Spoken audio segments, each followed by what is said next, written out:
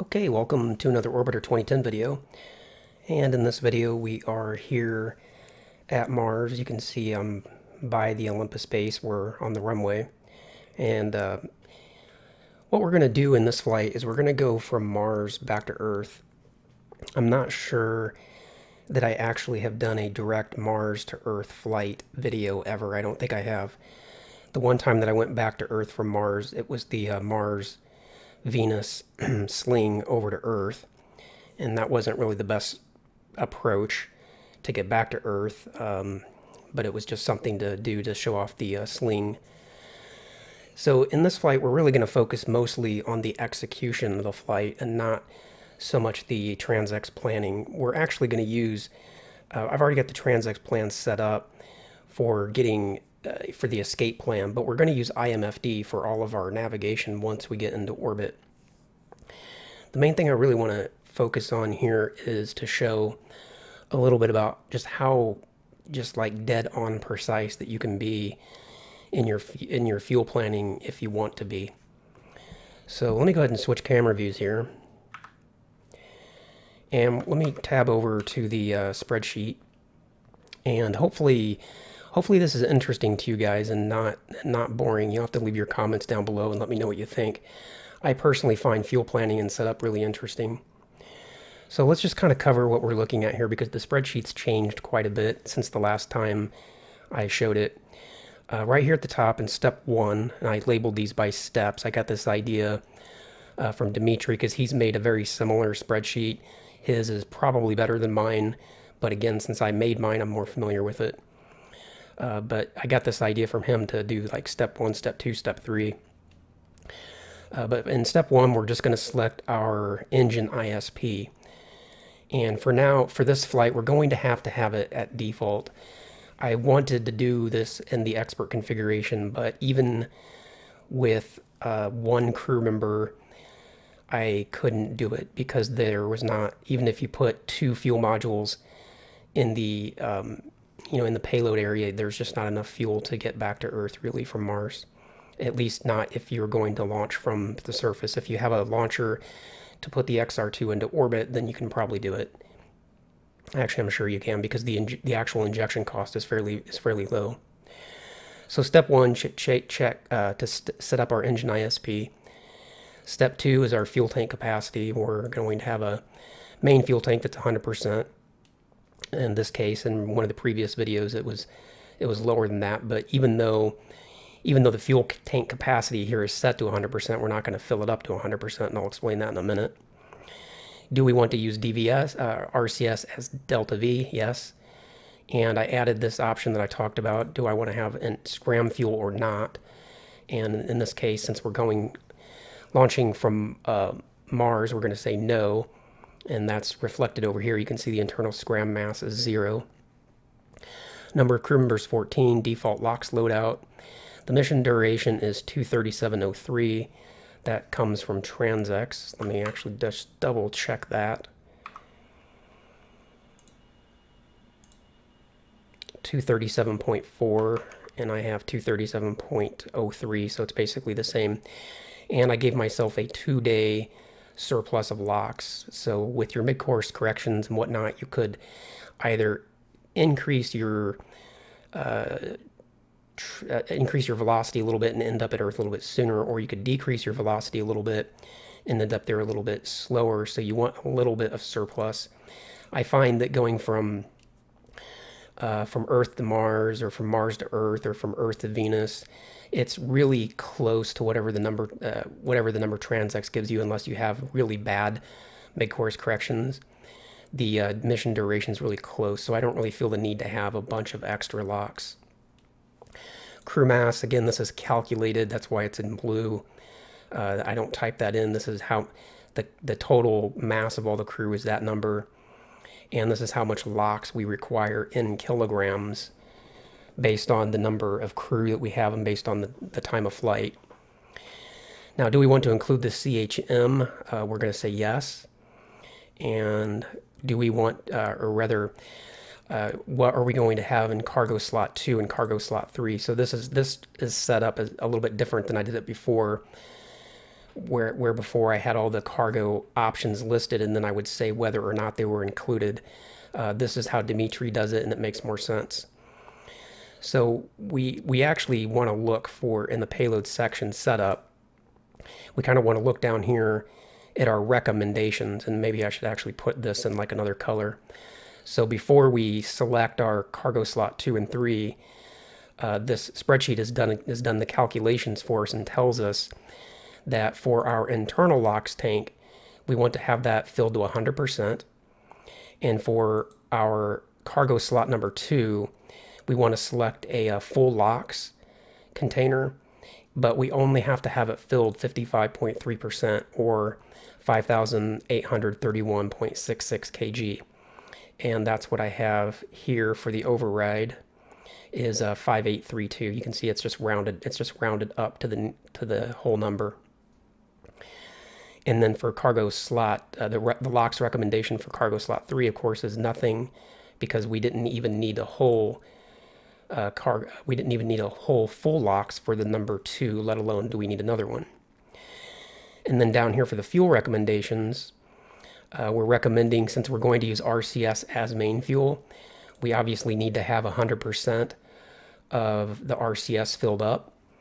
And then for the main fuel, in order to get the uh, DV requirement that we have for this mission, the main tank only needs to be filled to 49.22% or 6,592.9, which I have here for that override, uh, rounded up to the nearest number.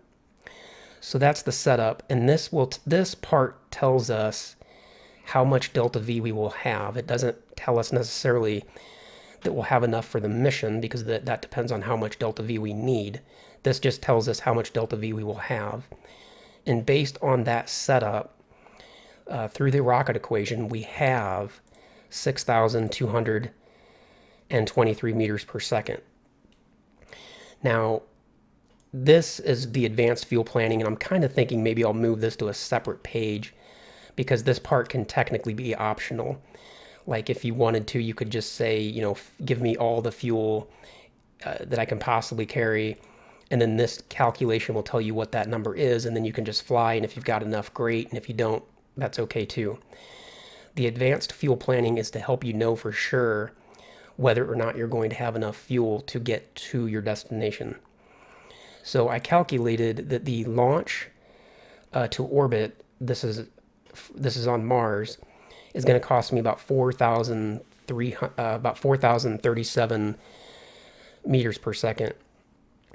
Now, we I did a uh, Mars orbit exercise that I posted on Orbiter Forum last year, and we found that by by taking off and getting into orbit around Mars, if you you know you take off like a like an airplane where you fly, you know like 90 degrees down the runway and take off, that's the most efficient way to get into orbit. And you can actually do that and get into a 90 degree orbit or take off and get into orbit and have a 90 degree heading with about 400 meters less than this. But the reason this is high, higher here, is because my launch requirement is that I'm going to have to have a 15 degree heading.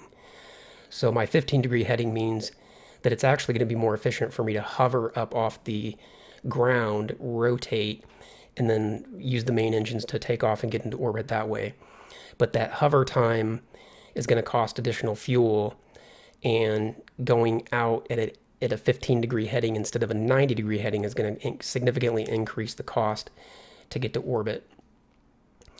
And there's really no way to calculate that that I know of. You really just have to uh, do two or three test flights to see what it's going to cost uh, delta V wise to to get into orbit for a particular for a particular body for a particular heading for a particular atmosphere. But um, i found consistently that the, the, the numbers are pretty pretty much always the same as long as you can fly more or less the same way. Now the injection cost fortunately we can calculate and we can calculate it to a degree of accuracy that's probably less than 1% it's really close. So whatever this number says is exactly what our injection burn is going to cost within two or three meters per second. And usually that difference that you end up with once you're in orbit is all due to the difference in altitude. Like if you have this number is calculated based on a 200 by 200 orbit.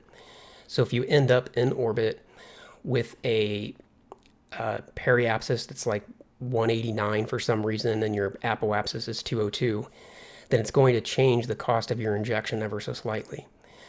But I calculated, not there, but here, the cost of going back to Earth, uh, doing this other, using this other spreadsheet that I made, and we just simply, we, we put our plan into TransX, we do all that, and then we copy and paste those numbers into here, which I've already showed in another video. Once we copy paste those numbers into here, it tells us what our total delta V will be. And if we alt tab over to TransX, we can see that the total delta V is now given to us in TransX. This wasn't always the case, so it was necessary to calculate it outside of TransX. But it used to be, uh, but now now it's given to you in TransX. So you want to check that number 2505, and we have here 2505, and this number should be exactly the same as what you see in TransX because this calculation, what you can see up here, this is the exact same calculation that TransX uses. So if this number is off by even one meter per second, there's something wrong. But this number is not the the total cost of going to your target. Uh, in in this case, our injection cost is actually cheaper by about by almost 500 meters a second, and I think that's because this time, instead of going from Earth to Mars, so instead of climbing the hill, this time we're going from Mars to Earth. We're going downhill, so our injection cost is actually cheaper than what we come up with here in TransX as being our total delta V. And someday I'll have to do a video on how to calculate the injection cost. Uh, Dimitri's actually writing a TransX manual that that explains this, and it's going to be it's going to be really good. So this number here, 20, 35, 66, that is our injection cost. Uh, that's the calculated injection cost. And that's what I put in here, 20, 35, 66. Now this tells me, so I'm starting with this much delta V on the ground. And once I take off, get into orbit, and then complete the injection burn, I will have 189.49 meters per second of delta V left after those two burns. Then I'm going to calculate, and I also added this stuff to my to my calculations. The the uh, before I showed the delta V gain due to LOX consumption, but I didn't show, but I didn't have the calculation included for what if you do a mid-course correction. And it really doesn't make a huge difference on short on on uh, flights where your delta V budget is so low because when you only have like a hundred or you know 50 or 100 delta V after the injection burn, you you just can't gain that much more. It's not like you're magically getting more fuel as you travel through space. The only thing that's changing is the LOX is reducing. You still have the same amount of fuel in kilograms. The kilograms if your fuel doesn't change. It's just the the ability for those kilograms to turn into DV increases because you're pushing less mass. But nevertheless, I included this here now in the spreadsheet where we have the mid-course correction planning phase. And this just says when we will we perform the mid-course correction. Uh, and then and this wants to know the number of days. And I'm just going to say that we're going to do it at 100 days because our total flight time is 237 and probably somewhere between 80 and 90 days we'll want to do a mid-course uh, between 80 and 100 days we'll want to do a mid-course correction for going back to earth.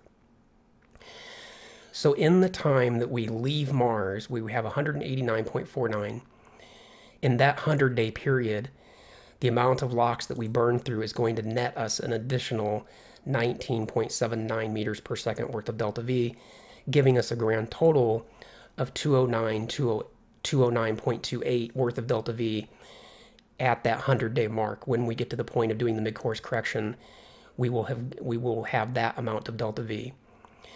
Now I'm estimating that the cost of doing mid-course corrections between Mars and Earth is going to be about is going to be about 150. I've not yet figured out a way to do like one burn, basically like you can do when you go from Earth to Mars. The the trip back in toward the sun seems to be uh, doesn't seem to be quite as good. And I think the moon has a lot to do with that as well because the Earth, you know, wobbles quite a bit. And tran and IMFD, as good as it is, it's not perfect, but it's a lot better than Transx. If we were uh, using Transx, I actually have, and I put it in my spreadsheet, uh, which navigation MFD are we using? Are we using IMFD or are we using Transx? And if we're using IMFD, we configure, um, actually, this should be 150. I forgot to change that, but that's okay.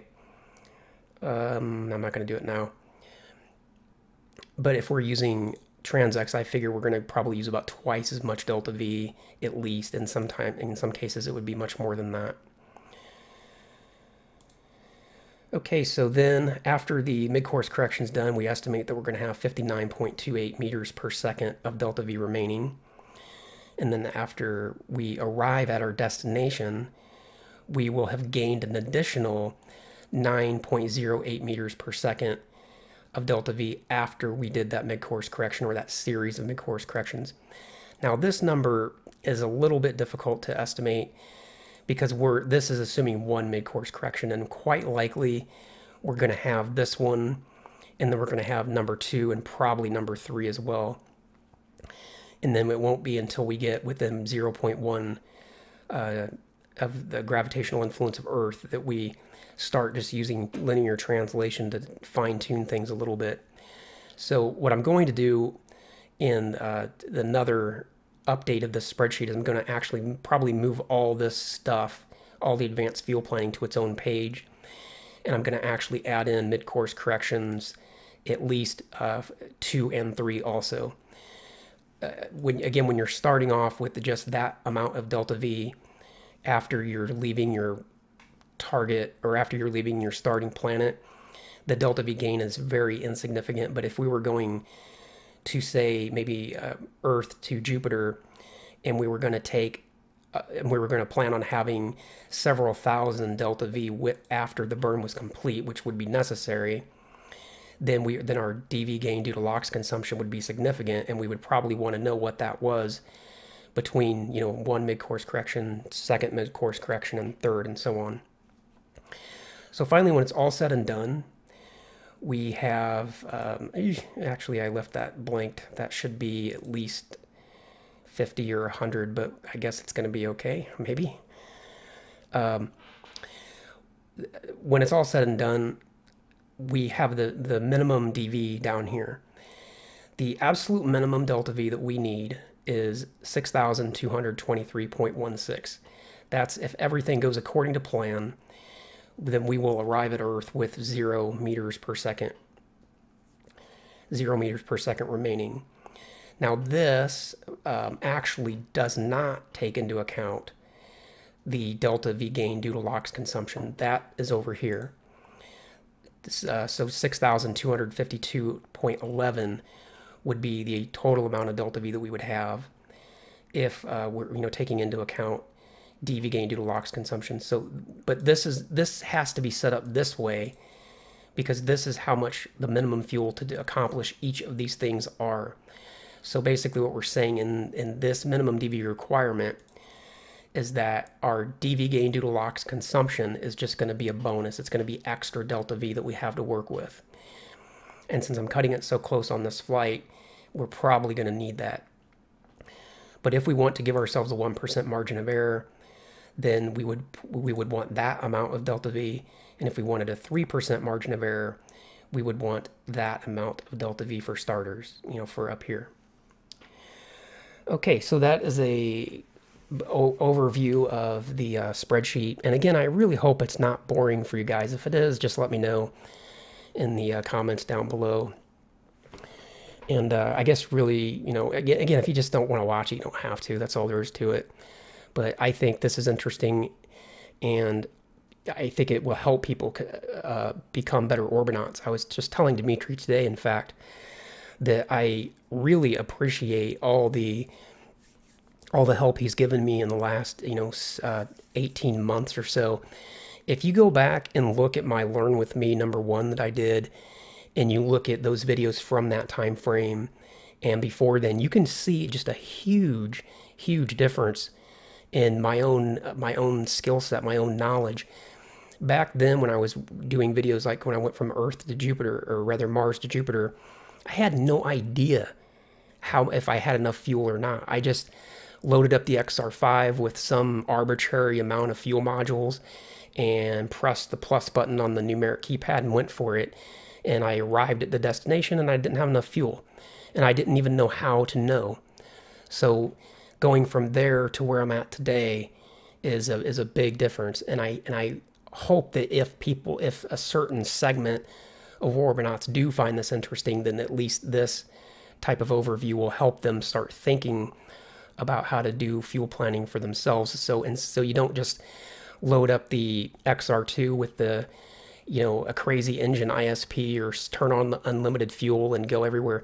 That's just not a very satisfying way to uh, to play Orbiter, in my opinion. Now, I was actually thinking I was gonna do this whole video in 30 minutes, um, make the whole trip, explain this, and get up off of Mars and go out to Earth and everything. Uh, obviously, that's not going to happen. So I'm going to go ahead and end this part of the video here, even though I'm only at 22 minutes, 21 minutes.